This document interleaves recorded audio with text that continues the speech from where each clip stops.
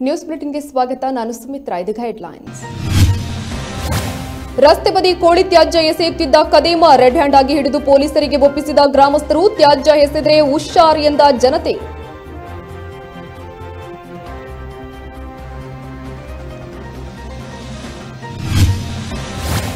ಕೊರಗಜ್ಜ ಗುಳಿಗಜ್ಜನ ಕಾಣಿಕೆ ಡಬ್ಬಿಯಲ್ಲಿ ಪ್ರಚೋದನಕಾರಿ ಬರಹ. ಹೇಯ ಕೃತ್ಯ ಮಾಡಿದ ಯಾರನ್ನೂ ಬಿಡುವುದಿಲ್ಲ. ಆದಷ್ಟು ಬೇಗ ಆರೋಪಿಗಳನ್ನ ಪತ್ತೆ ಹಚ್ಚುತ್ತೇವೆ ಎಂದ ಮಂಗಳೂರು ಕಮಿಷನರ್.